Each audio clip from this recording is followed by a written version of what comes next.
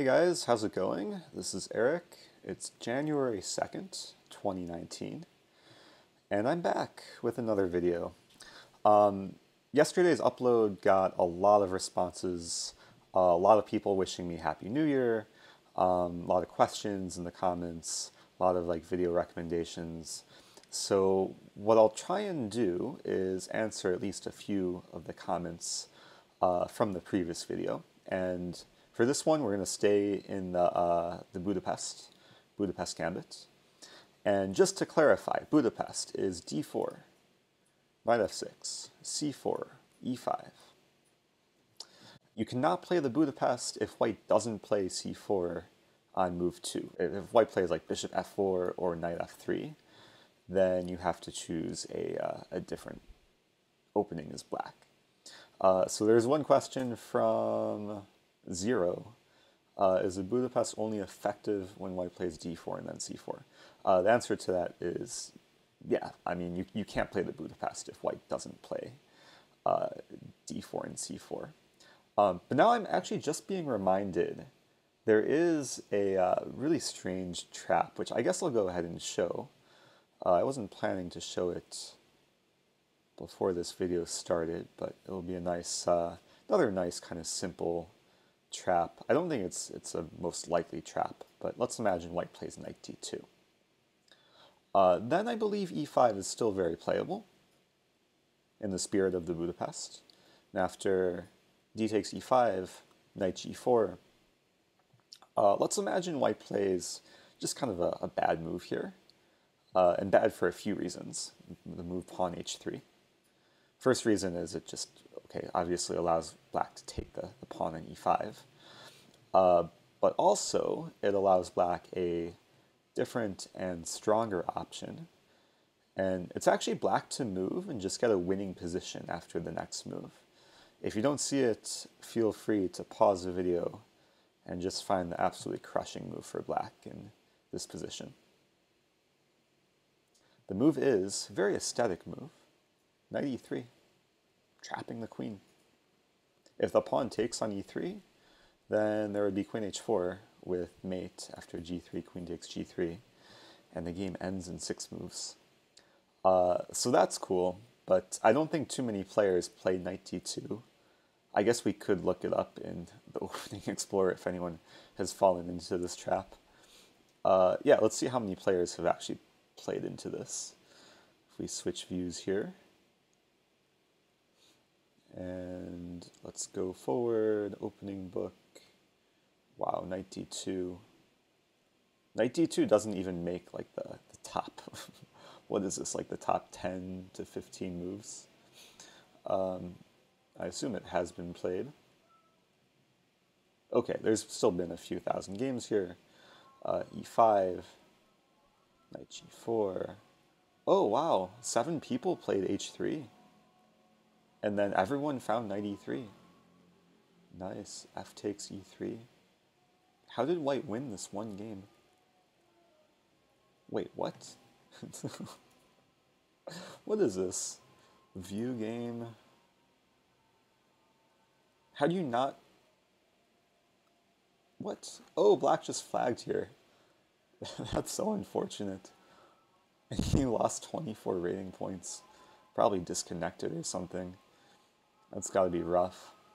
Getting to a position with force mate and flagging. Uh, there is some background noise. Hopefully, it's not too bad. Um, I guess I'll find out after I finish the recording.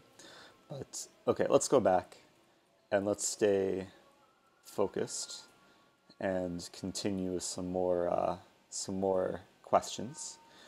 Uh, there was one question from this guy. Hello, Eric. At four minutes. What's up? okay, I got my fresh towel. This is very important. Um, where am I? Here I am. Okay, back to back here. If people can see this towel just delivered. I'll probably edit this out, or maybe I won't. Who knows? Um, at 4-0-A, what happens if white plays knight c3 instead? Okay, so the position that the person's referring to, what is his name? Rui Gomes, or Gomez. So this is actually another main variation of the Budapest, arguably one of the most like main lines. After knight g4, uh, let's say bishop f4, knight c6, knight f3, bishop to b4 check. It's this position where, let's say white doesn't go for this line where he's potentially falling for, uh, for this early checkmate trap, but rather plays knight c3. Um, for this, I want to show actually a full game, which happened back, I want to say in, in 1918, between Akiba Rubinstein playing black and Milan Vidmar playing, or sorry, Akiba Rubinstein playing white, Milan Vidmar playing black. Uh, it was a very beautiful game, and it goes to show what happens when white gets a little bit overly greedy and is a bit too materialistic. And in the following variation, white will manage to hang on to material and, and defend the pawn, but black will get some compensation. So the move to play here is queen e7, attack the pawn. Now the difference between the knight coming to c3 and d2 is the fact that in this position the queen is not obstructed and the queen can, uh, can land on d5, and that's what happened in the game. Uh, simply defending the pawn, and if we notice there are three defenders and three attackers. Uh, one, two, three. So the pawn can't be taken right away. Um, so black goes for some kind of exploitation of some other targets, starting with bishop takes c3, doubling white's pawns, and then going for queen a3. And now we can see, okay, the, the queenside pawns are a bit weak, especially the c3 pawn, not having any defenders. And, uh, okay, in the game, white played rook to c1. I do want to note that a normal-looking move like queen to d2 can be met with a very nice move, queen a5, keeping an eye on the c3 pawn and also targeting the e5 pawn. And if I'm not mistaken, black is just guaranteed to win a pawn back in this position, as there's no way to uh, keep both of these pawns defended. So yeah, in this game, white played rook to c1. If we notice, a bishop defends the rook from a distance so the rook can't be taken. And um, at first glance, it might seem like black could just take on a2. But I will say this is perhaps a bit overly greedy, and taking on a2 is just bad. Uh, it allows white to play this move pawn h3, and then this knight sadly has to go back to h6 and probably just gets a bad position for black. Uh, so, rather than taking on a2, black can play a nice sort of uh, gambiting move, pawn f6, giving up on trying to win the e5 pawn straight up and simply going for the trade to, uh, to keep some initiative. Now in the game, white took on f6, and black recaptures with the knight. Uh, so black is officially just down a pawn in this position, but uh, okay, has some attack against the queen, and there's there's a few factors which actually give black some nice compensation here. Uh, the first thing is that black is ready to castle very soon, and white is a bit slow to castle. Uh, white's king is going to be stuck in the center for at least the next uh, next few moves. Um, and then also the queen on a3 is actually quite uh, quite annoying, eyeing many different targets that white has to keep uh, a constant eye on. So in the game, white played queen to d2, black plays d6, ensuring that uh, the bishop is obstructed, can't get away with any bishop takes c7 shenanigans. Uh, white played knight to d4, black castles, pawn e3. And now we get to a key moment where I think starting with black's next move, every single move for the rest of the game was either a capture or a threat, as black now has really nice forcing combination, uh, starting with the simple knight takes on d4. And now if, if we notice here, it looks like three different things can capture back on d4. Um, but we should point out the queen can't capture back because it's tied down to the rook. And the e-pawn doesn't necessarily want to capture back either because it would open up the e-file and leave the bishop a bit less defended. So white was provoked to take back with the c-pawn. The problem with taking back with the c-pawn is it opens up this diagonal and it allows black to keep the initiative in a very nice fashion with the next move knight e4. Simply hitting the queen, but more importantly, forcing the queen off of this diagonal. And wherever the queen goes, uh, assuming it's a safe square, black can deliver a check and take away white's castling rights. And that's exactly what happened. Uh, the queen also has to stay guarding the rook. So white played queen to c2, and then after queen a5 check, white has nothing else but to move the king. King e2 was played. And now the next move was very impressive from black. And it's a type of move I don't know if I would consider playing myself. Maybe I would consider it, but it's a difficult move to play because black is already down a pawn, and the next move sacrifices more material. So if you want to pause your video and at least try and consider some different options, black to move, keep the initiative. And it may seem like a move, perhaps bishop f5 is, uh, is good enough, but Vidmar in this game did not hold back and just sacrificed the rook for the bishop. Rook takes f4, uh, trading off one of white's only developed pieces and uh, also forcing the e-file to open up. And we see in this game that initiative and piece activity was way more important than material, which is the case for a lot of gambit openings. So white took back, and now bishop f5. And the nice thing here, black continues making threats. Uh, the main threat of bishop f5 is just knight g3, attacking the king, the queen, and the rook. Um, and then also, of course, black wants to bring in the rook to e8 and exploit the king along the e-file. And this is already very, very difficult for white to defend. Uh, what happened in the game? White played queen b2, rook e8, and now king f3 a sad move, but I mean, what else to do? Um, the king is trying to find shelter. Black played knight to d2 check, king to g3, knight comes back to e4. And now something slightly unusual happened because you would think white is just trying to hold on for dear life, and it would make sense for white to at least repeat the position and move back to f3 and see what black is up to. But white uh, seemingly self-destructed and played the move king h4, uh, which is not the safest place for the king. If we see in this position, white's king is the most active piece, not what you want, um, at least in the early middle game.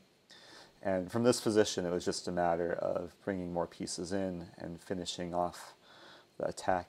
Uh, nice move, rook e6, threatening in 1. Bishop e2 is played, rook h6 check, bishop h5.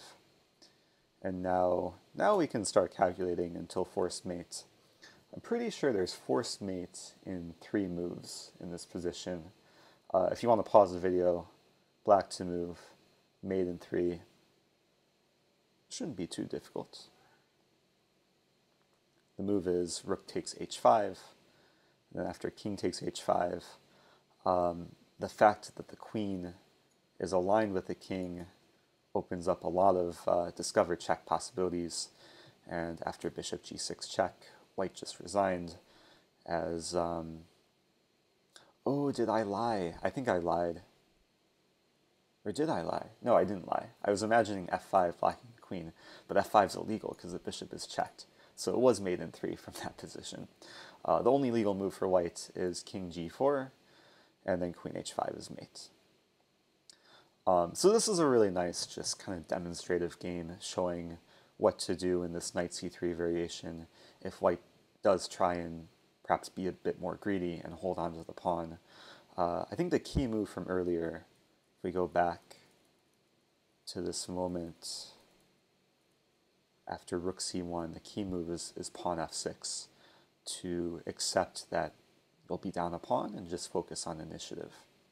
Now, I do want to actually go back to the other moment to just show what would happen if white tries to repeat the position after knight d2, king g3, knight e4. Um, king f3, was, of course, a, a better try. And this is actually a really good attacking exercise um, to try and put yourself in the situation as black, like pretend it's a serious game, and ask yourself, what would you do here? Like, how would you continue the attack? I mean, the position looks really good. You have the bishop, the knight, the queen, and the rook, all having potential to work together to mate the king. But what's the best continuation? Um, and I think what I'll do is just show the absolute best continuation, um, very nice variation, which uh, which just continues making threats until white is uh, is essentially paralyzed. So the move to play here is actually to bring in another attacker, in this case a pawn, and to play the nice move pawn h5. Let's imagine white plays a, a move like bishop to d3. Then black uh, simply has bishop to g4. And then once the king is forced on the e-file, uh, very bad things will happen. Uh, for example, knight g3, and black is winning a lot of material, if not mating.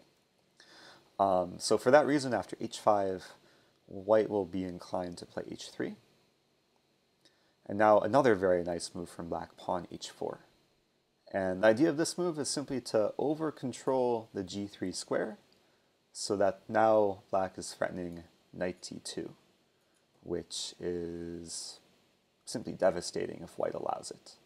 Uh, knight d2 would force white to give away the queen, and black would go on to win the game. So white doesn't have too many ways to escape. Let's imagine pawn to g4, creating some uh, escape square via g2. Then black can continue with knight d2 check, and after king g2, the checks continue, bishop e4 check. The king has to move to one of these squares, and now we see that the knight is bound to come to f3, say king g1, knight f3, king g2, and we actually have a windmill situation.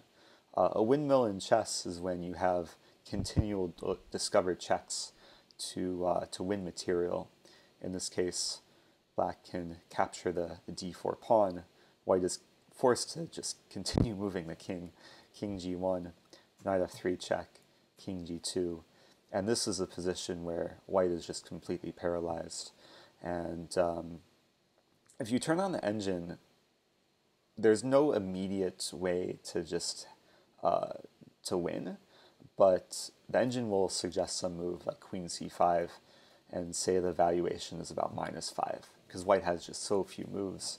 And um, I was doing some digging earlier, and apparently one of the plans for black is to play bishop c6 and then rook e1, and then eventually uh, win material by taking the rook on h1.